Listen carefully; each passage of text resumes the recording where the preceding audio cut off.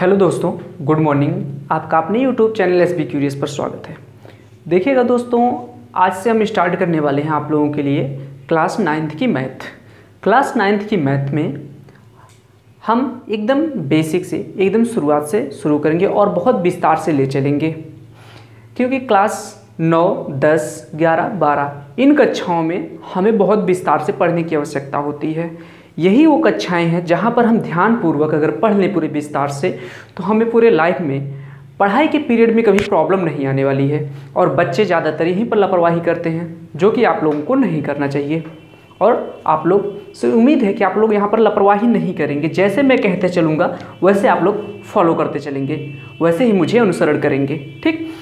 आप लोग वैसे ही पढ़ाई करते रहिएगा। विश्वास मानिएगा, आप लोग क्लास नाइन्थ की मैथ पूरा होते होते आपको ये लगने लगेगा कि आप खुद से क्लास दस की मैथ लगा सकते हैं। ठीक?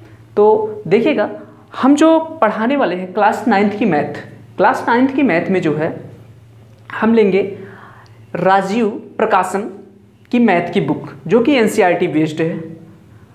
और इसमें पहला चैप्टर होगा संख्या पद्धति, जिसमें से आपके एग्ज़ाम में आता है सात नंबर का क्वेश्चन।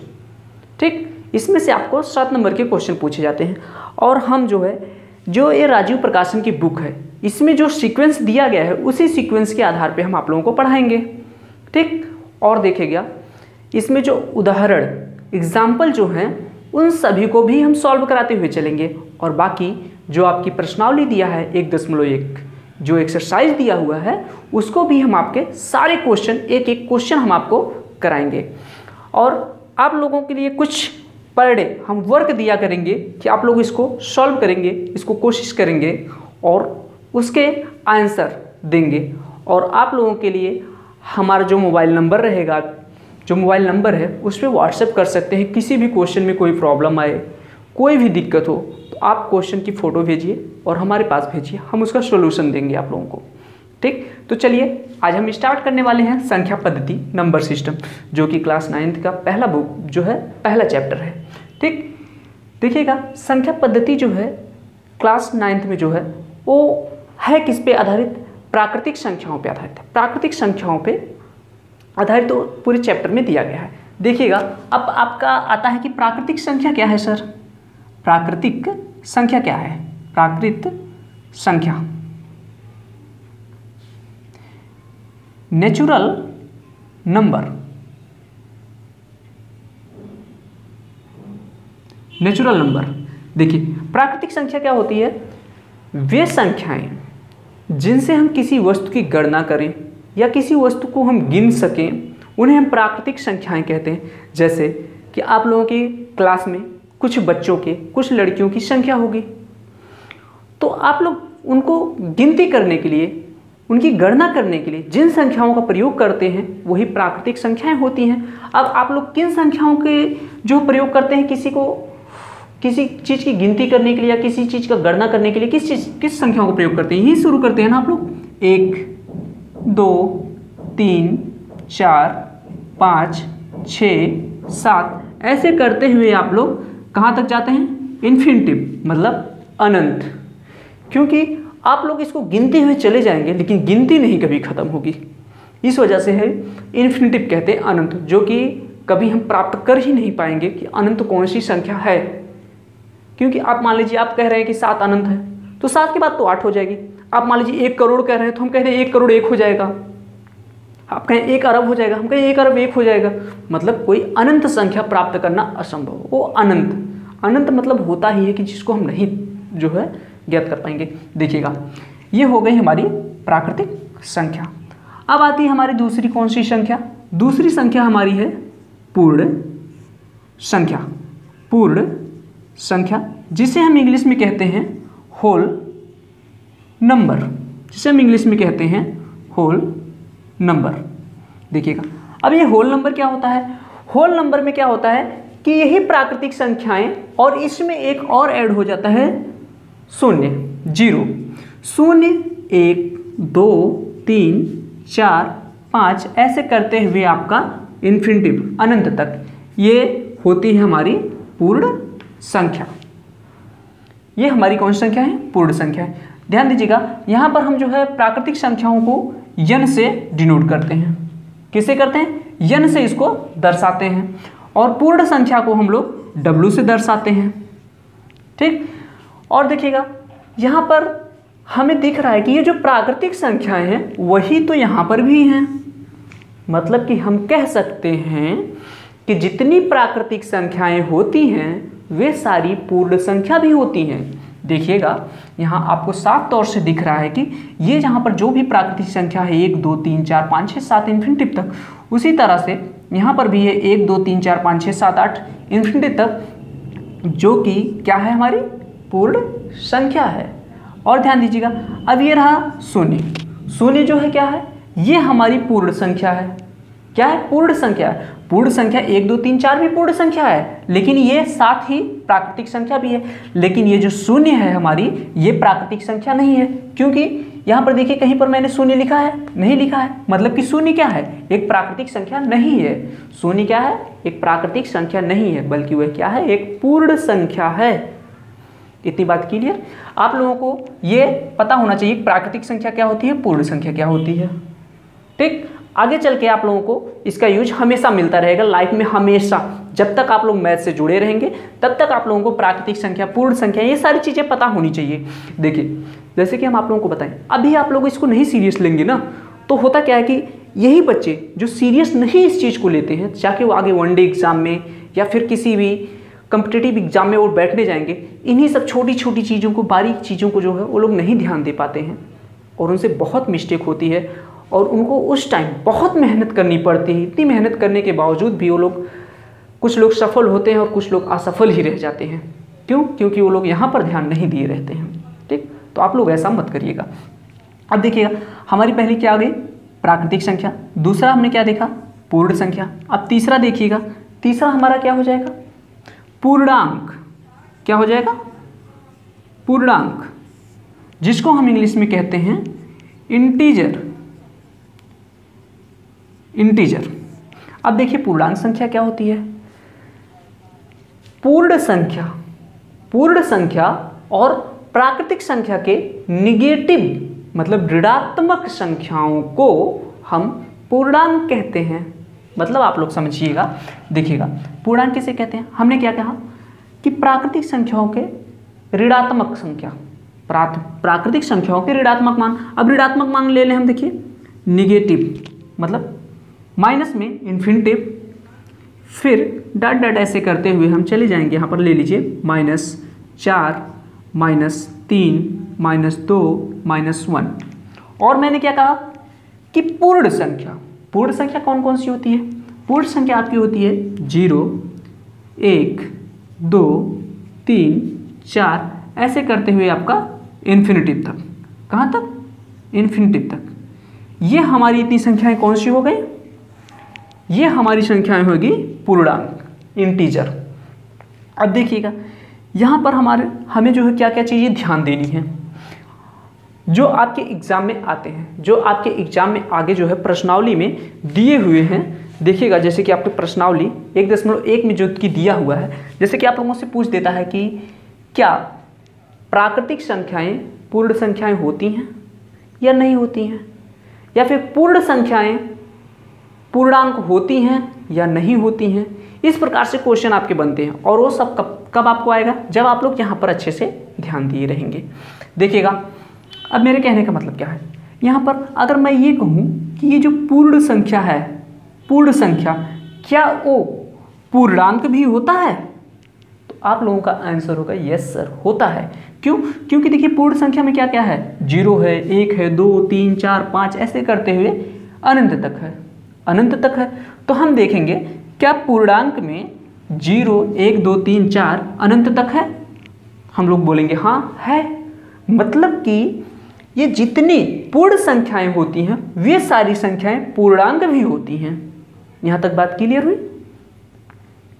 देखिए, और ये पूछा जाए आपसे, क्या प्राकृतिक संख्याएँ जो हैं, वे पूर्णांक भी होता है? तो आप लोगों का आंसर होगा, जी सर हाँ होता है। क्यों? क्योंकि देखिए, प्राकृतिक संख्याओं में आता क्या है? एक, दो, तीन, चार, पाँच छः सात, ऐसे करते हुए अनंत तक हम लोग जाते हैं। अब फिर देखेंगे क्या? पूर्णांक में हमारा जो है एक, दो, तीन, चार, पाँच ऐसे अनंत तक है? तो हम लोग कह रहे हैं, यस, सर, है। मतलब कि जितनी प्राकृतिक संख्याएँ हैं, वे पूर्णांक भी होती हैं। प्राकृतिक संख्याओं को हम पूर्णांक भी कह सकते हैं। अब उसी का उल्टा आप लोग कहिए, क्या हम लोग पूर्णांक को पूर्ण संख्या कह सकते हैं? तो आंसर होगा, नहीं, सर। क्यों नहीं? क्योंकि पूर्णांक में हमारा माइनस में है, माइनस में इन्फिनिटिव मतलब अनंत से लेके और फिर माइनस वन तक है, जो कि पूर्ण संख्या में माइनस में कहीं कुछ दिख रहा है। नहीं दिख रहा है ना? मतलब कि हमारी पूर्णांक जो होते हैं, वे पूर्ण संख्या नहीं हो सकती। हमारी पूर्णांक, जो पूर्णांक है, वे सारे के सारे पूर्णांक पूर्ण संख्या नहीं हो सकती। इतनी बात क्लियर है? अब यहीं पर यह भी पूछा जा सकता है आपसे, क्या पूर्णांक जो होते हैं, वे प्राकृतिक संख्याएँ हो सकती हैं? देखिए तो हमारा आंसर होगा नहीं, सर। क्यों? क्यों नहीं? क्योंकि इसमें देखिएगा, माइनस दिया गया है अनंत, माइनस चार, तीन, दो, एक, ये सारी इधर माइनस में संख्याएँ हैं, और इसमें ज़ीरो भी दिया गया है, जो कि ये इतनी संख्याएँ जो है हमारी प्राकृतिक संख्याएँ नहीं हैं। तो हम कैसे कह सकते हैं कि हमारे पूर्णांक जो होते हैं, वे प्राकृतिक संख्याएँ होती हैं? नहीं कह सकते ना? लेकिन हम ये कह सकते हैं कि प्राकृतिक संख्याएँ पूर्णांक होती हैं, क्योंकि पूर्णांक के अंतर्गत सारी की सारी प्राकृतिक संख्याएँ आ जाती हैं। यहाँ तक बात क्लियर हुई? ये सारे क्वेश्चन आप लोगों के नाइन्थ में ऐसे ही पूछे जाते हैं। ठीक क्लास नौ में आप लोगों के ये सारे के सारे क्वेश्चन आप लोगों को मिलेंगे। और आपके प्रश्नावली एक्सरसाइज एक दशमलव एक में ही ये सारे क्वेश्चन दिए गए हैं आप लोगों को। ठीक? अब देखते हैं हम, हमारा अगला आता है परिमेय। परिमेय संख्या। क्या आता है? चौथा हमारा आता है परिमेय संख्या। अब देखिएगा परिमेय क्या होता है। देखिए, हम आप लोगों को बिल्कुल भी ये नहीं कहेंगे कि नहीं, बहुत रफ्तार से, बहुत ज़्यादा ले चले। क्यों? क्योंकि आप लोगों के पास टाइम बहुत है अभी। ठीक? और आप लोग आराम आराम से एकदम देखेंगे और पूरे विस्तार से समझ समझ के चलेंगे। और आप लोगों को कहीं कोई प्रॉब्लम होगी तो आप लोग ज़रूर कमेंट करिएगा कि सर यहाँ पर कोई प्रॉब्लम है, यहाँ पर दिक्कत है। हम आप लोगों को पूरी कोशिश करेंगे फिर से बताने की वहाँ से कि आप लोगों को कहीं पर भी कोई दिक्कत ना रह जाए। क्योंकि अभी अगर इस टाइम आप लोगों को प्रॉब्लम बची रह गई तो वो भविष्य में ख़त्म होने के लिए बहुत दिक्कत होगी। हमेशा कहीं ना तो कहीं आपको प्रॉब्लम क्रिएट करती रहेगी, जो कि हम नहीं चाहते। ठीक, हम चाहते हैं कि आप लोग अगर यहाँ पढ़ रहे हैं तो आपके दिमाग में कोई भी डाउट ना रहे। चलिए, देखिएगा हमारा आप चौथा है, परिमेय संख्या। कौन संख्या है? परिमेय संख्या।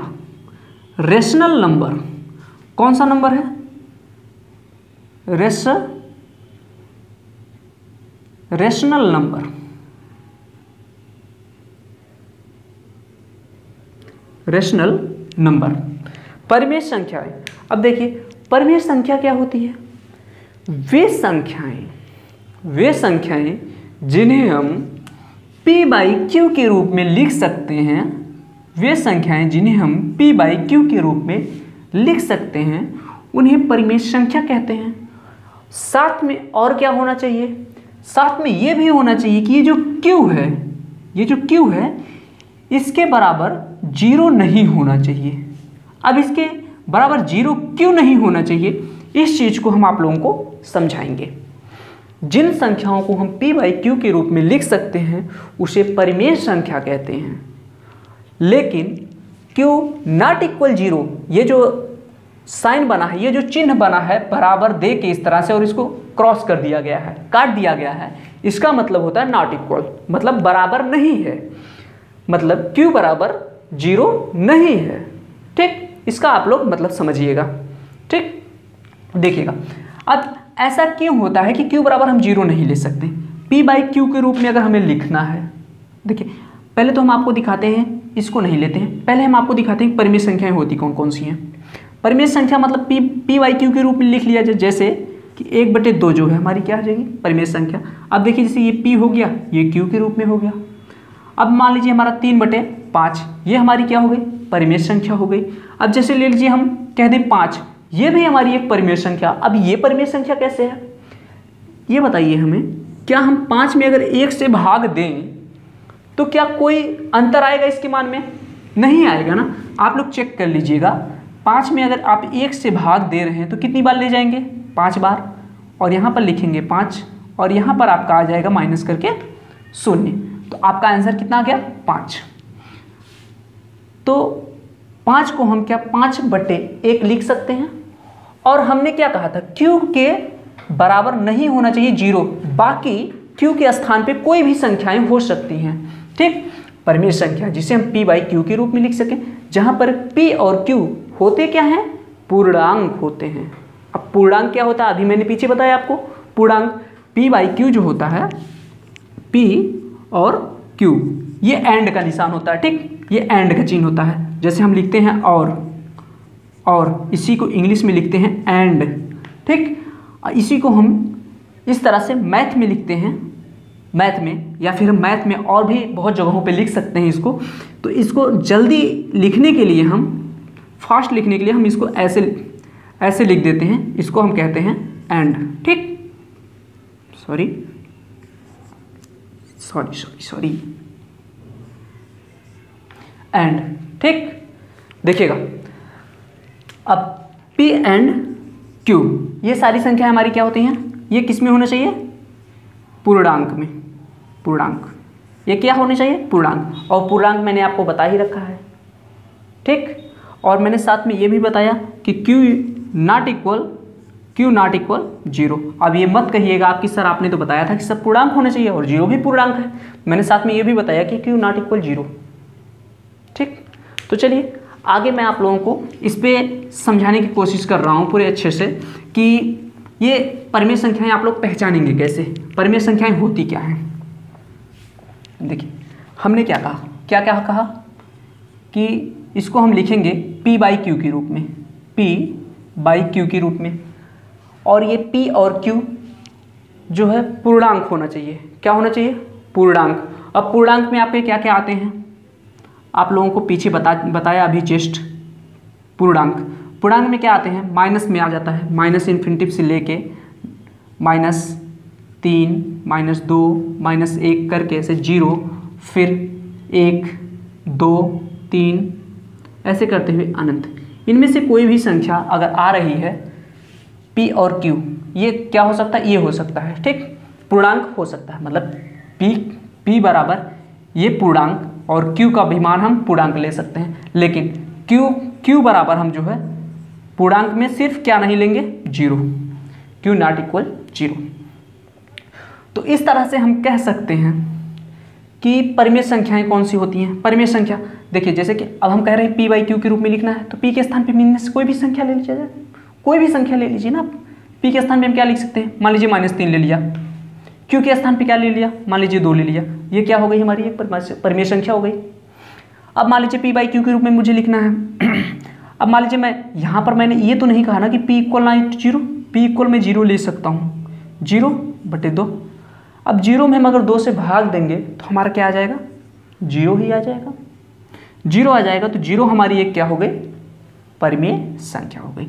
ज़ीरो हमारी क्या हो गई? परिमेय संख्या। इसको आप लोग नोट करके याद रखिएगा कि ज़ीरो हमारी क्या है? एक परिमेय संख्या है। क्या है?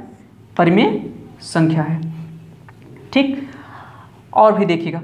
जैसे कि आपसे कह दिया जाए सिर्फ़ कि माइनस तीन। क्या है? क्या एक परिमेय संख्या है या नहीं है? तो आपका आंसर होगा, सर, है। है परिमेय संख्या क्यों? क्योंकि इसके बटे में हम एक लिख सकते हैं। और बटे में एक लिखेंगे तो इसके आंसर पे कोई प्रभाव नहीं पड़ेगा। ये फिर भी माइनस तीन ही रहेगा। जैसे आपसे कह दिया जाए कि चार, क्या परमेय संख्या है? यस परमेय संख्या है। पाँच, क्या एक परमेय संख्या? यस परमेय संख्या है। एक, क्या एक परिमेय संख्या? हाँ एक परिमेय संख्या है। ज़ीरो, शून्य। शून्य क्या एक परिमेय संख्या? हाँ यह एक परमेय संख्या है। क्यों? क्योंकि हम इसमें बटे में एक लिख सकते हैं और एक से भाग देंगे हम। तो भी इसका मान शून्य ही आएगा। इतनी बाल क्लियर? चलिए, आपसे आप उम्मीद हम करते हैं कि आप लोगों को परिमेय संख्या ये समझ में आ गई होगी। अब आप लोगों को परिमेय संख्या में ये बताना है कि आखिर हम क्यों नॉट इक्वल ज़ीरो मतलब क्यों बराबर हम ज़ीरो क्यों नहीं लेते हैं? क्यू बराबर आखिर हम ज़ीरो क्यों नहीं रखते हैं? बुक में तो ये लिख दिया कि क्यू बराबर ज़ीरो नहीं लेना है। नहीं तो परिमेय संख्या नहीं रह जाएगी। अब क्यों नहीं रह जाएगी वो परिमेय संख्या? हम देखते हैं इसको। देखिएगा।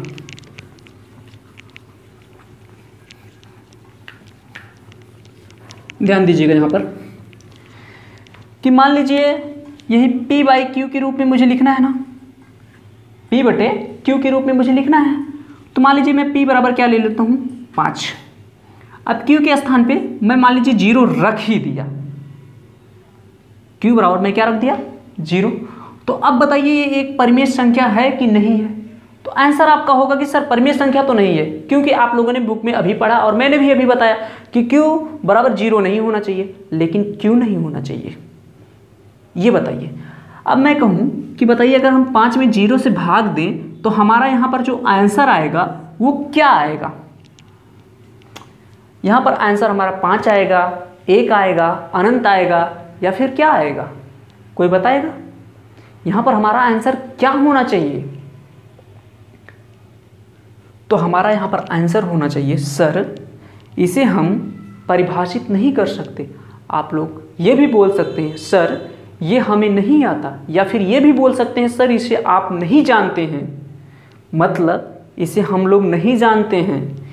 इसके बारे में हमें कोई आइडिया नहीं है। हमारे जो गणितज्ञ हैं बड़े बड़े गणतज्ञ वे भी इस चीज़ को नहीं अभी तक डिफाइन कर पाए हैं कि इसका आंसर क्या होगा। ये अपरिभाषित है। अब अपरिभाषित कैसे है? देखिएगा, ध्यान दीजिएगा। अगर हम ज़ीरो से पाँच में अगर यहाँ पर हम भाग दें, अगर ज़ीरो से पाँच में हम भाग दें तो बहुत सारे बच्चे होंगे कि सर एक आएगा। यहाँ पर बहुत सारे बच्चों का आंसर होगा कि सर एक आएगा। तो मान लीजिए हम एक बार ले गए। तो ज़ीरो एक कम ज़ीरो एक का पहाड़ा अगर हम ज़ीरो बार पढ़ेंगे तो ज़ीरो ही आएगा ना, या फिर ज़ीरो का पहाड़ा एक बार पढ़ेंगे तो ज़ीरो ही आएगा ना? ज़ीरो और एक का गुड़ा करेंगे तो क्या आएगा? ज़ीरो ही तो आएगा, शून्य ही तो आएगा। अब शून्य लिखें, फिर इसको घटाएँ, फिर हमारा पाँच आ गया। क्या आ गया? पाँच। मान लीजिए, कोई बच्चा ऐसा होगा, वो कहेगा कि सर नहीं, एक बार मत ले जाइए, चलिए एक हज़ार बार ले जाइए। हम फिर शून्य का गुणा एक हज़ार में करेंगे, फिर भी हमारा शून्य आया। तो यहाँ पर अदर अदर बच्चों के, अलग अलग बच्चों के अलग अलग आंसर आएँगे और सबके ये गलत ही होंगे। बताइए, यहाँ पर बहुत सारे बच्चे होंगे, सर, अनंत बार ले जाइए, अनंत बार। तो हम फिर अनंत बार क्या होता है? अनंत आपको कुछ पता है कि अनंत क्या होता है? अनंत किसी को पता है कि क्या होता है अनंत? नहीं पता है। तो हम इसको क्या कहेंगे? सर, ये अपरिभाषित है मतलब अनडिफाइन है। अपरिभाषित अनडिफाइन है। ठीक? ये अपरिभाषित अनडिफाइंड मतलब किसी भी संख्या में हम ज़ीरो से भाग देंगे तो वो क्या है? अपरिभाषित अनडिफाइन है। ठीक? तो आप लोगों को यहाँ से क्लियर हो गया होगा कि हम आखिर क्यू बराबर ज़ीरो क्यों नहीं लेते हैं। ठीक? क्योंकि ये परिभाषित ही नहीं है। ठीक?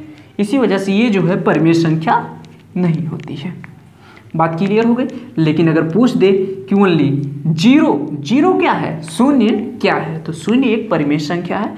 क्यों? क्योंकि हम शून्य के बट्टे में एक लिख देते हैं। और फिर देखिए कि हम यहाँ पर शून्य में अगर हमें भाग करना है एक से तो हम कितनी बार ले जाएँगे? शून्य बार ले जाएँगे। और शून्य बार ले जाएँगे, हमारा शून्य आ जाएगा। और हमारा आंसर क्या आ गया? ज़ीरो। परिभाषित हो गया ना ये? ये सिद्ध हो गया ना हमारा? तो यहाँ से ये हो गया हमारा ये क्या है? परिमेय संख्या है। कैसी संख्या है?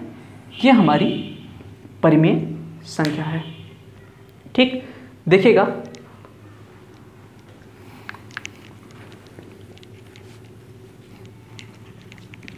देखिएगा।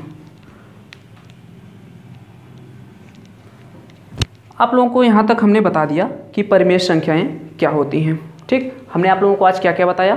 हमने आप लोगों को आज बताया कि प्राकृतिक संख्याएँ, पूर्ण संख्याएँ, पूर्णांक और परिमेय संख्या, ठीक? और थोड़ा सा आप लोग और इसमें देख लीजिएगा कि तुल्य जो है, तुल्य परिमेय संख्याएँ क्या होती तुल्य मतलब तुलनात्मक रूप से उसके बराबर हो, उसी के जैसा हो। अगर तुल्य मतलब कहा जाए, जैसे कि वो उसके बराबर होता है। जैसे हम आपसे कहें कि आपके बुक में ही दिया है जो, देखिए, जैसे कि दिया है एक बटे तीन। एक बटे तीन के तुल्य परिमेय संख्या कौन सी होती है? तो तुल्य परिमेय संख्या हम कैसे निकालते हैं? एक ही संख्या से। किसी एक ही संख्या से हम इसके अंश में भी गुणा कर दें और हर में भी गुणा कर देंगे और उसके बाद जो परिमेय संख्या प्राप्त होगी, वो एक बटे तीन के तुल्य परिमेय संख्या प्राप्त होगी। तुल्य मतलब इसके बराबर ही परिमेय संख्या प्राप्त होगी। मेरी बात समझ में आ रही है? देखिएगा। जैसे अगर मैं कहूँ कि इसमें अंश में भी दो से गुणा कर दीजिए, हर में भी दो से गुणा कर दीजिए। गुणा कर दिया तो इसमें क्या आ जाएगा? दो बटे छः। दो बटे छः जो है, एक बटे के तुल्य ही है। क्यों तुल्य है? क्योंकि आप इसको अगर अभी सिंपल करेंगे सिंप्लीफाई करेंगे, इसको काटेंगे तो काटने के बाद आपका फिर क्या आ जाएगा? एक बटे तीन आ जाएगा। या फिर मैं कहूँ, इसी एक बटे तीन में ऊपर जो है, छः से गुणा कर दीजिए और नीचे भी छः से गुणा कर दीजिए तो ये क्या हो जाएगा? छः बटे अट्ठारह। ये भी किसके तुल्य है? एक बटे तीन के तुल्य है। बस इसका मात्र यही मतलब है। और भी देखिएगा ये तो गुणा करने पे आ गया। लेकिन हम ये भी कह सकते हैं, किसी परिमेय संख्या में, किसी एक ही संख्या से उसके अंश में भी और उसके हर में भी भाग करने से जो परिमेय संख्या प्राप्त होगी, वो उसके तुल्य होगी। देखिए, जैसे कहने का मतलब क्या है? आप लोगों को उदाहरण लेके समझाता हूँ।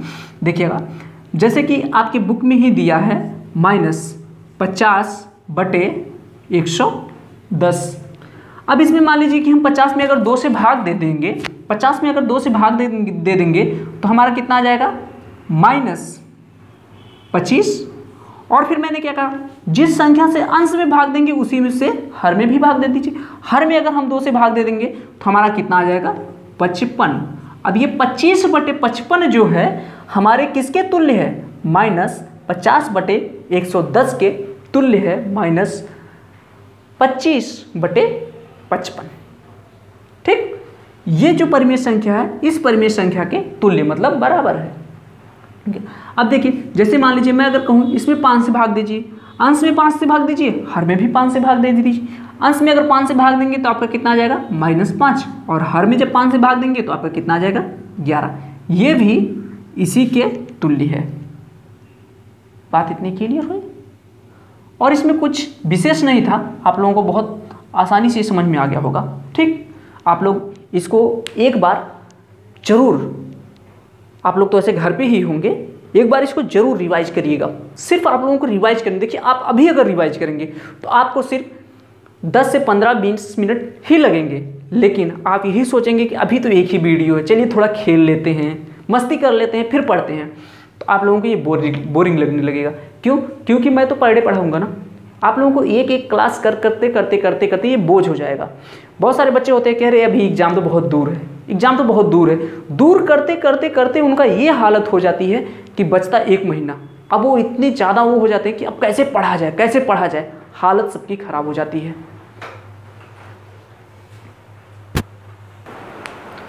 हाँ तो देखिएगा, लाइट चली गई थी क्योंकि हमारे यहाँ बारिश बहुत तेज़ी से होने लगी थी तो अभी हमने इन्वर्टर ऑन किया है। तो आप लोगों से बस कहने का मतलब यही है कि आप लोग रिवीजन ज़रूर करिएगा। ये नहीं कि यूट्यूब पे फ्री क्लास मिल रही है तो आप लोग रिवीजन ना करिए। सबसे बड़ी प्रॉब्लम यही आप लोगों की होती है कि आप लोग रिवीजन नहीं करते।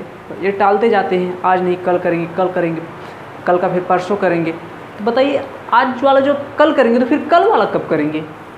प्रॉब्लम होती रहेगी, ठीक? आप लोग इस बात को गंभीर लीजिएगा। तो चलिए फिर हम लोग कल मिलते हैं, ओके?